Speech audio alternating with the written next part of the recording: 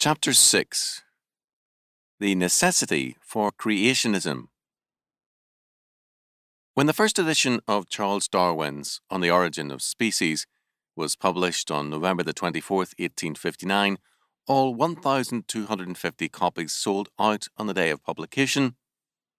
The world was waiting for a theory with scientific prestige to render the Bible and God obsolete, and men immediately jumped on the bandwagon of Darwinism George Bernard Shaw described the relief of men as being rid of God and declared, quote, The world jumped at Darwin. A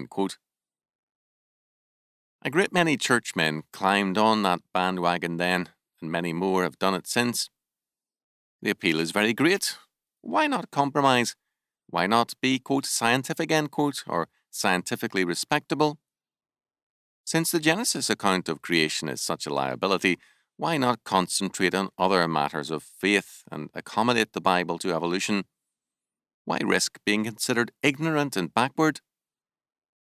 Bernard Ramm, in The Christian View of Science and Scripture, searched for, quote, more credible, reasonable interpretations which should cause no embarrassment to any man with a scientific mentality, but also with Christian convictions.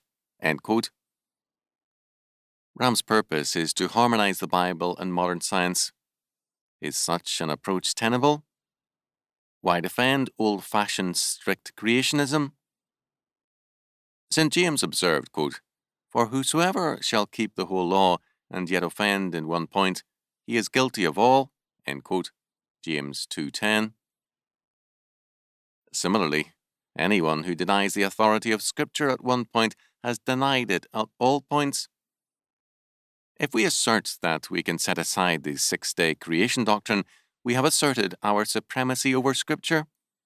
Our mind and our convenience now have a higher authority than the Bible, so that we have totally denied its authority and asserted our own authority instead. If we claim the right at any point to set aside Scripture, we have established ourselves as the higher authority at every point. Clearly, therefore, the question of authority is at stake in Genesis 1 God or man, whose word is authoritative and final? But there is much more at stake. Science itself is involved. These are issues involved in creationism which are basic to the existence of science. Let us examine the necessity of creationism for science. Dr. Robert P. Knight, MD, in his presidential address to the American Psychopathological Association, New York, May 9, 1946, stated, quote, Determinism is a fundamental tenet of all science. Indeed, it is inconceivable that we could explain or count on anything in the physical world without relying on the basic assumption that all phenomena are strictly determined. Dynamic psychology is a science of human thinking and human behavior and as a science must be deterministic. The phenomena of human thought, feeling, and behavior of the whole range of personality development in health and in psychopathology must be understandable and explainable in terms of the causal factors of heredity, early psychological conditioning, subsequent life experiences, the composite of forces, external and internal, playing on the personality, in such a deterministic science of human behavior, there is no place for the fortuitous, nor for quote, free will in the sense used in philosophy. Whatever human actions or decisions seem to indicate the operation of a free will or a freedom of choice can be shown on closer inspection and analysis to be based on unconscious determinism. The causal factors were there and operative but were simply not in the conscious awareness of the individual. Knight's conclusion is a very interesting one. Quote, Determinism is a prerequisite of all science, including dynamic psychology. The alternative is not free will, but indeterminism, which implies chaos, unpredictability, and a denial of cause and effect relationships in human affairs. Free will is a subjective feeling which is better called a sense of inner freedom and which depends on harmony and integration of the personality. It is experienced by those psychologically healthy persons who willingly choose a course of action according to inner standards. They are glad to obey.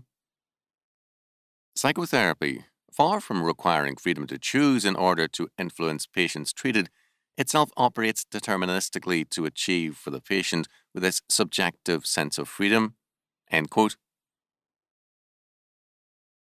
Without getting involved in a discussion of predestination versus determinism, we can observe that Knight has rightly seen that the issue is one between a world under absolute law and a world of chaos, and he sees a world of law and of cause and effect as basic to science.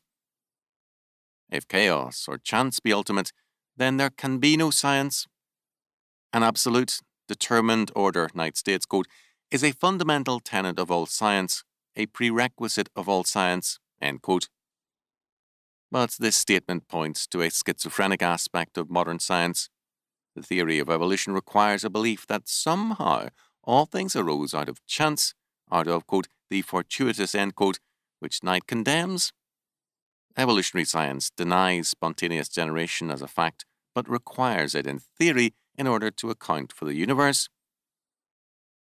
Thus, J. H. Rush, while unable to affirm spontaneous generation, places his hope in finding evidence of it and writes, quote, It would be satisfying to find some kind of life on another planet, even lowly forms, to support our basic thesis that life is a spontaneously originating process. End quote.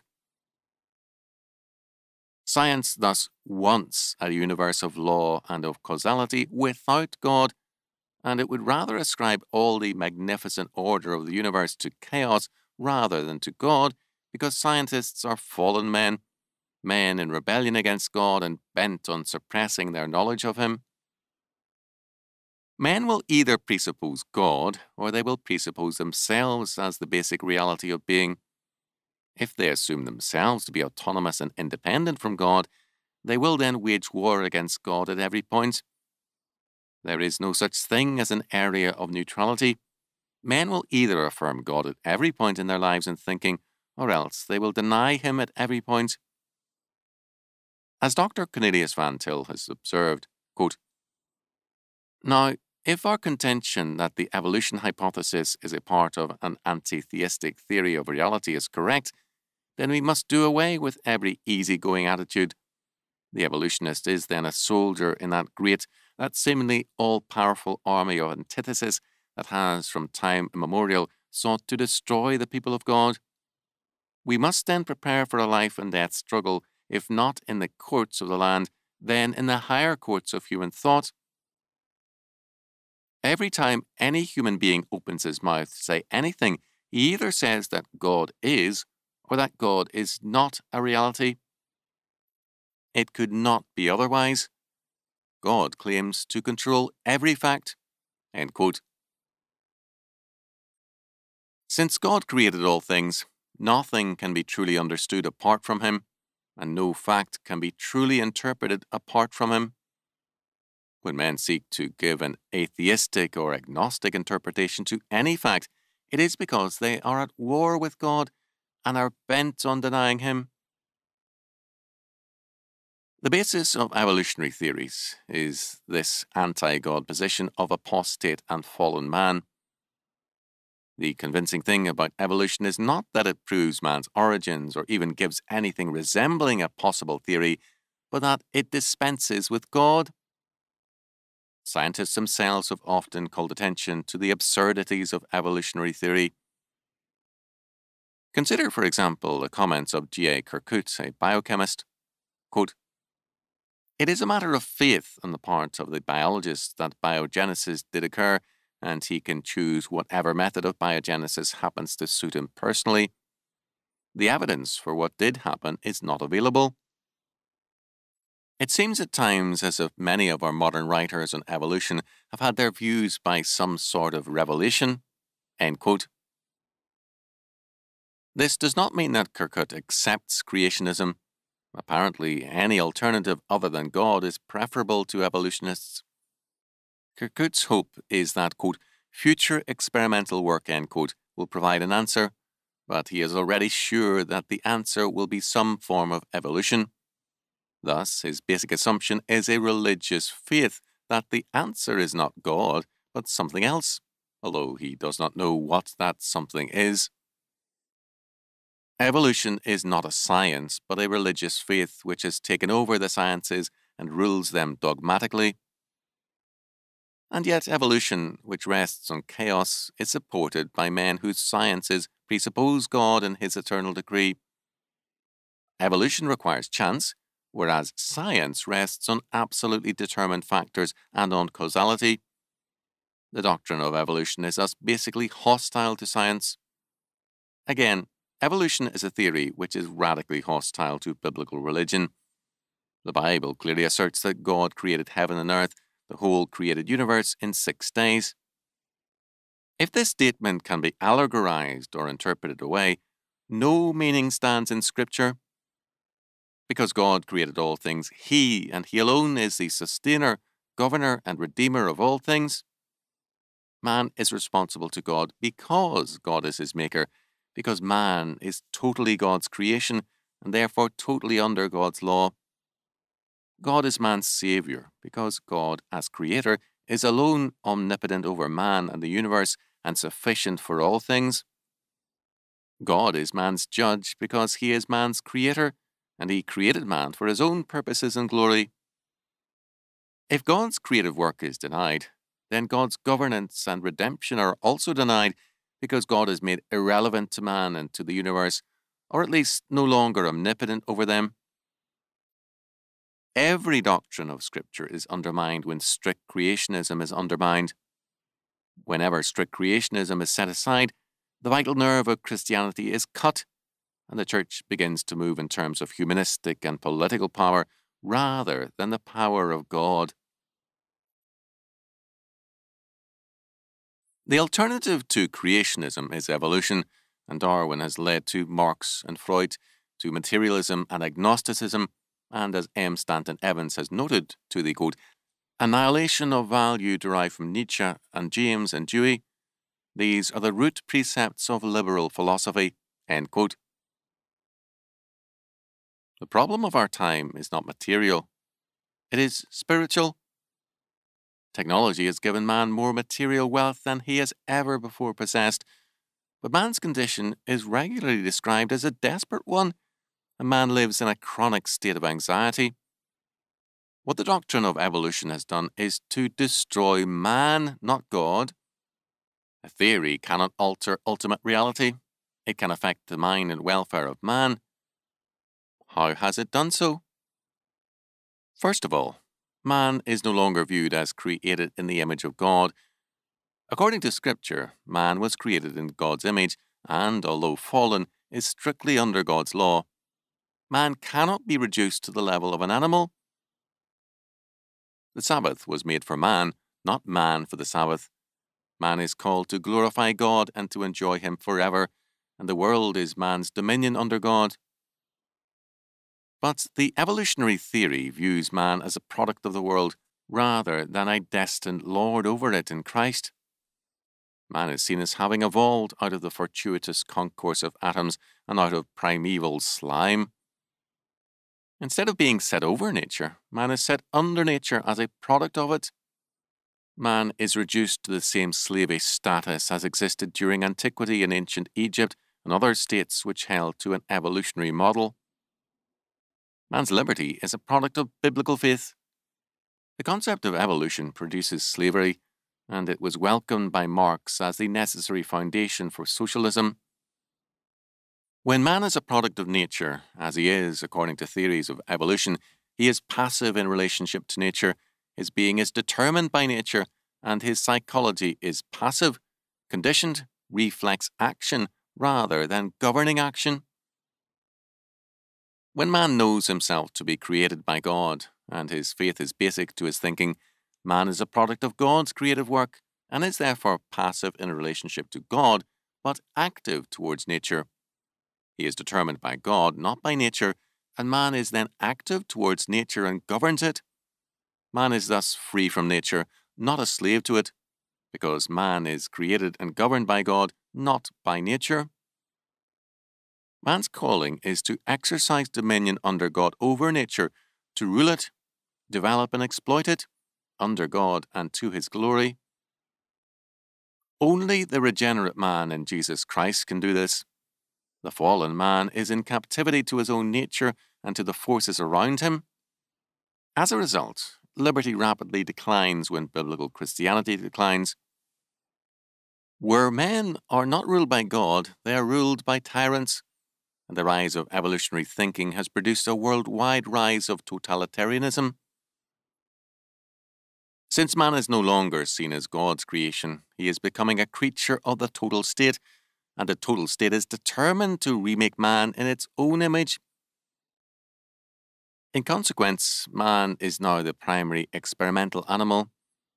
People are alarmed at the use of animals in scientific experimentation, but the grim reality is that the primary experimentation animal is man. Not only the mental health experts, but also virtually every agency of civil government is today engaged in trying to remake man. Moreover, scientists are engaged in experiments concerning psychochemical and electronic controls over man. Such experiments are reported in Life magazine, March the 8th and 15th, 1963. Scientists talk seriously, as did C.R. Schafer, at the National Electronics Conference at the Illinois Institute of Technology about enslaving men with built in electronic controls, a socket mounted under the scalp, quote, a few months after birth, end quote, with, quote, electrodes reaching selected areas of the brain tissue, end quote, after, quote, a year or two, a miniature radio receiver and antenna, end quote, would be, quote, plugged into the socket, end quote, and from that time on, the child would be modified, quote, or completely controlled by bioelectric signals radiated from state controlled transmitters. End quote. When they begin by talking and experimenting in this vein, as they have done, we can be sure that the conclusion of their thinking will be far worse. Orwell's 1984 will look like paradise compared to what these evolutionists plan to do with man. When men set aside God as creator, they then set themselves up as man's recreators, as the new gods over man and the universe. It was this same temper which characterized man before the flood, and Genesis 6 5 declares, quote, And God saw that the wickedness of man was very great in the earth, and that every imagination of the thoughts of his heart was only evil continually. A second way in which evolutionary theory has altered the mind of man is with respect to responsibility. According to Scripture, man is a responsible creature. His responsibility is to serve and glorify God. Failing to do this, man became a sinner, sentenced to death. Evolutionary theory, because it sees man as a product of nature, sees man not as a responsible creature made in the likeness of God, but as a product of a long evolutionary history and environment. As a result, man is not responsible, he is not a sinner, but a victim. He is what his environment has made him. The means, therefore, of changing man is not regeneration, not moral responsibility and renewal, but changing his environment. Man has to be reconditioned. This means a Pavlovian world. Even as Pavlov trained his dogs to salivate when he rang a bell, so man has to be trained, like any animal, by conditioning. This means that education ceases to be education, it becomes brainwashing and conditioning, and thus responsibility disappears. After all, it is not the criminal's fault, it is society's fault. It is not the young delinquent's fault, it is his family's fault. Mothers, as a result, are extensively blamed for their children's sins and failures or for their mental collapse. As one psychiatrist, Dr. Humphrey Osmond, MD, has noted, quote, and if Mama was not to blame, the myth goes on, it must be Papa or the husband or wife. This can be extended and is extended to anything in the family background poverty, riches, lack of discipline, too much discipline. Thus far, however, no one has blamed sons and daughters for the schizophrenia of Mama and Papa. But parents may have senile psychosis, and the day may come when children will be blamed for that. It is dangerous these days to be the relative of a person who is mentally ill, for you will probably be blamed for driving him mad. This trend to blame someone or something else will not be stopped by such common sense observations by a few dissenting psychiatrists. Environmentalism is a logical necessity for evolutionary thinking. The theory holds that man is a product of his geological and biological environment, and because evolution is a continuing process, not a finished act, this means that man is still a product of his environment. As a result, the consistent evolutionist will first insist that the environment is responsible for man, not man for his environment. Second, he will try to provide the right biological and social environment to further man's evolution and to prevent man's devolution. This means total control over man, supposedly for man's welfare. Again, we face the inescapable fact that evolutionary thinking requires totalitarianism. If the education of a people is dedicated to teaching evolution, it will also teach socialism or communism. Karl Marx knew better than others that evolution was a necessity for communism's success. It made socialism, quote, scientific, end quote. If men put their faith in evolution, they will then look to scientific socialist planners for salvation rather than to Jesus Christ. Their maker is their savior. Friedrich Engels agreed with Marx that Darwin's theory was basic to scientific socialism. When man is regarded as a product of his environment rather than a creature responsible to God, he ceases to be of much importance either as a person or in his own thinking. Darwin himself doubted the validity of many aspects of his evolutionary model. For example, while denying all revelation, he believed that it seemed reasonable to conclude, quote, that the universe is not the result of chance, end quote, even though his theory did so much to enthrone chance. He added, quote, but then with me, the horrid doubt always arises whether the convictions of man's mind, which has been developed from the mind of the lower animals, are of any value or at all trustworthy. Would anyone trust in the convictions of a monkey's mind, if there are any convictions in such a mind? Darwin thus professed little respect for his own intellect. Is it not surprising, then, that he had little respect for some races? He believed that some would be eliminated and wrote, quote, Looking to the world at no very distant date, what an endless number of the lower races will have been eliminated by the higher and civilized races throughout the world. In other words, Darwin felt that evolution would eliminate, quote, lower races, end quote, this is one possible approach to the quote unquote problem from the evolutionary perspective weed them out. The other approach is equally deadly. Since environment changes men, provide these quote lower races end quote with a new environment, new education, and a new set of controls, and you will quickly evolve them to the same level as that of what Darwin termed quote the higher civilized races end quote. Both of these evolutionary approaches reveal a fundamental contempt for man and a readiness to use him experimentally. More importantly, they shift the problem from faith and character to planning and control, from responsibility to conditioning and experimentation.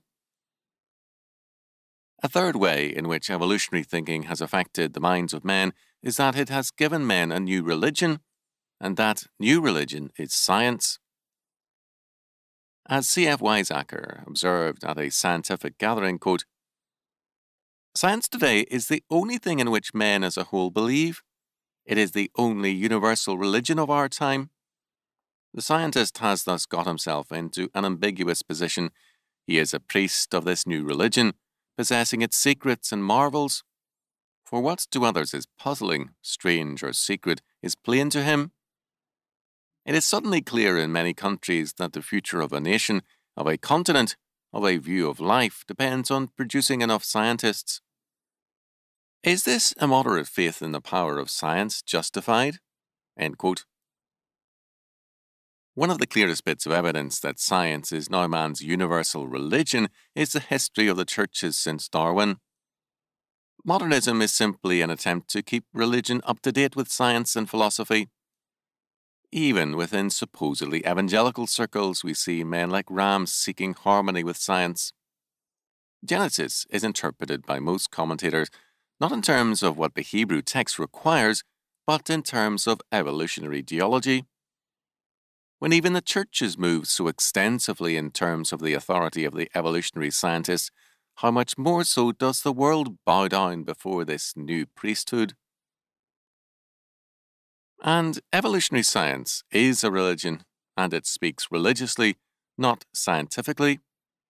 Its champions advocate evolution because they want to escape God and creationism.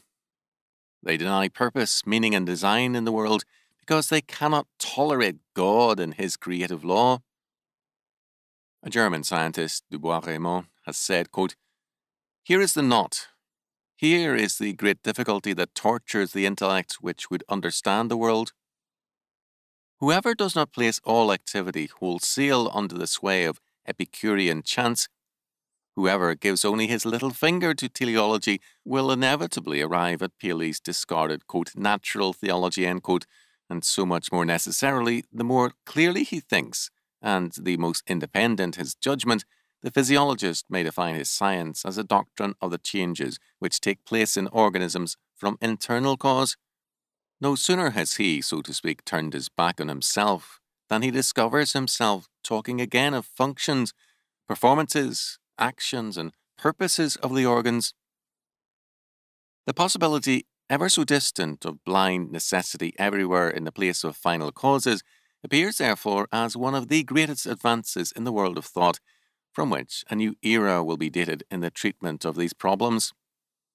To have somewhat eased the torture of the intellect which ponders over the world problem will, as long as philosophical naturalists exist, be Charles Darwin's greatest title to glory. The argument is clear cut. Chance is affirmed as the mechanism of evolution in order to avoid God. The world shows design and purpose, not chance, but chance is a religious necessity, and this is, as du Bois-Reymond noted, quote, Charles Darwin's greatest title to glory, end quote, that he offered a theory which maintained that chance could be the mechanism of evolution. In other words, evolution is not even remotely connected with scientific fact. It is a religious trick and device to escape from God. A fourth way in which evolutionary thinking has affected the minds of men is in the area of morality. Biblical morality declares the sovereign authority of God and establishes his clear cut commandments for men. Morality, thus, has reality. It is grounded in ultimate reality. It rests on the truth of God's word and has the authority of God's judgment behind it. The theory of evolution has no moral absolutes. Morality, like man, is a product of evolution. It represents not ultimate and absolute truth, but social mores and customs. The new morality is the logical result of evolutionary theory. It simply wipes out all moral standards. The champions of the new morality declare that anything done, quote, by mutual consent should not be prohibited by law, end quote, and is morally legitimate. The only crime is said to be compulsion or force used against another person. According to the quote, Bruins for Voluntary Parenthood and Sexual Liberty, end quote, in a 1966 handouts at University of California at Los Angeles, quote, Where there is no victim, every act is morally right, end quote, and virtually every form of perversion is then listed and defended. But why limit lawful acts to voluntary acts? After all, if, as such persons believe, there is no ultimate truth, no ultimate right and wrong, why not regard force and consent as equally good? The Marquis de Sade was more logical here. For him, the only real crime was Christianity. All else was permissible. Every sexual crime, theft, and even murder. Quote, Can we possibly imagine nature giving us the possibility of committing a crime which would offend her? At least one killer of late has been motivated in part by the Marquis de Sade's writings. A murderer in England who boasted of several brutal murders was a professed follower of the degenerate Marquis. It is ridiculous to believe that when men believe that every kind of act is morally legitimate and natural, they will not begin to practice many of these acts. And this is exactly what is happening all around us. The growing incidence of every kind of perversion and crime is a witness to this moral collapse. Sigmund Freud knew that total breakdown of all law and order could easily follow the widespread adoption of unbelief. When the masses become as atheistic as their leaders, Freud feared that they, quote, would certainly kill without hesitation, and so follows the necessity for either the most rigorous suppression of these dangerous masses and the most careful exclusion of all opportunities for mental awakening, or a fundamental revision of the relation between culture and religion. In other words, Freud saw the solution, as he proceeded to develop it, as one of total control in a scientific socialist state. Either that or atheism would lead to mass murder and total lawlessness.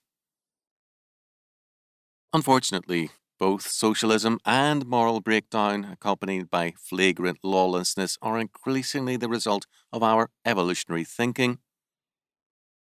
Because God's moral law is denied, men are ever more inclined to live in terms of their sinful nature and their lawless demands for self satisfaction. In a recent article on a New York City detective, George Barrett, the author reported on the collapse of law and order as seen from Barrett's perspective. Quote, if Barrett hates the bad guys, he grieves for the good. He walks through the west side of the precinct among the crowded apartment houses and he points to the heavy wire screens and bars covering the back windows over the alleys and empty lots. Quote, Look at that, he says. They have to make prisons for themselves to keep the germs out. They have to hide themselves behind bars. In many cities today, similar conditions prevail. The good citizens make prisons of their own homes to protect themselves from the hoodlums who rule the streets. One prominent oil man commented on the moral breakdown by observing that backward areas of the world, which 50 years ago were the less safe areas for travel, are now safer than the streets of America. The reason for this is not that these areas have improved, they have not. It is because the total moral nihilism and anarchism of evolutionary thinking is creating a monstrous new barbarian who respects nothing and delights in destruction. Concerning such a man, David wrote in Psalm 36, 1 and 2, quote, There is no dread of God before his eyes, for he flatters himself in his own thinking that his iniquity will not be found out or hated. This new barbarianism will continue to increase until creationism is again believed, and with it, biblical Christianity and Christian moral order again prevail. Jose Ortega y Gasset termed the specialized scientist of our day a barbarian. Quote, but if the specialist is ignorant of the inner philosophy of the science he cultivates, he is much more radically ignorant of the historical conditions requisite for its continuation. That is to say, how society and the heart of man are to be organized in order that there may continue to be investigators. He also believes that civilization is there in just the same way as the earth's crust and the forest primeval. Modern men, scientists, and humble believers in evolution alike are parasites. They are living off the unearned capital of Christian civilization, on the impetus, law, and order of centuries of Christianity. Like all parasites, they are destroying the host body. Christendom and its collapse will be their death also. They are denying the eternal decree of God, His sovereign and omnipotent creative counsel and decree and as a result, they are left with a world of chaos which is destructive of science. If they were faithful to their philosophy, these scientists would have no science, because they would have to say that the world is a world of brute factuality without meaning, purpose, causality, or law. Every time a scientist works in his laboratory, he assumes the reality of God. Even though he denies God with his lips. He is thus destroying the very foundation of his science when he denies the God who created all things and who is the source of all law and all interpretation. The moral capital of Christendom is rapidly disappearing. If it disappears entirely, all culture and civilization will go with it, and the decline and fall of the West will be more devastating than the decline and fall of Rome. The only alternative to this decline and fall is a renewal of biblical Christianity, which requires a return to creationism. This means renouncing any philosophy, study, or science which seeks to act in complete independence of God. It means renouncing the idea of brute factuality, that is, the idea that facts exist apart from God and apart from any interpretation. Because God has created every fact in the universe, every fact must be understood in terms of the interpretation placed upon it by God's creative purpose. We must strive in every area to think God's thoughts after Him. We must believe that in every area there are God ordained truths for man to know, and no other kind of fact and truth exists, only those created by God. Evolution says that the universe represents no purpose, plan, or law, it just happened. When we begin with such a total negation, we can only end up with a total negation. As Van Til has observed, a million zeros still add up only to zero. And because its social and cultural efforts are increasingly being reduced to the chaos and anarchy of a moral zero, and worse than that, a moral minus, it is an especially deadly moral chaos. This moral chaos is prowling our streets, pounding on our doors, and invading our homes. Scientific planning and mental health programs will not cure it. They are merely, quote, scientific, end quote, forms of quackery which aggravates rather than alleviate the evil. The answer is a return to biblical Christianity, biblical creationism, to that fact defined by Hebrews 11:3, quote, Through faith we understand that the worlds were framed by the word of God, so that things which are seen were not made of things which do appear. This is the basic truth which all men, as God's creatures, know. But, as St. Paul declared according to the original Greek, they, quote, hold down the truth in unrighteousness, end quote, Romans 1.18. They suppress this truth because of their sin. Quote, For the invisible things of him from the creation of the world are clearly seen, being understood by things that are made, even his eternal power and Godhead, so that they are without excuse. End quote. Romans 1.20. Not only is creationism a necessary faith, it is also an inescapable fact.